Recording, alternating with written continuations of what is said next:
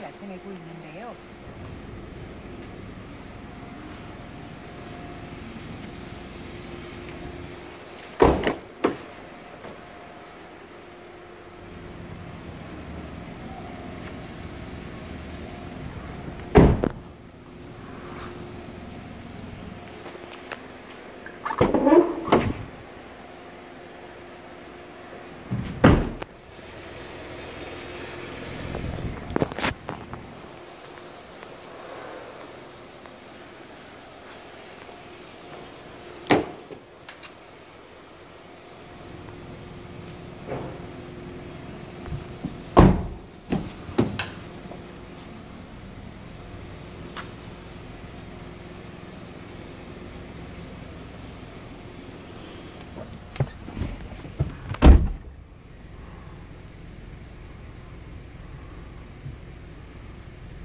남청년 문화 복지 카드를 통해 청년의 문화 향유 기회가 확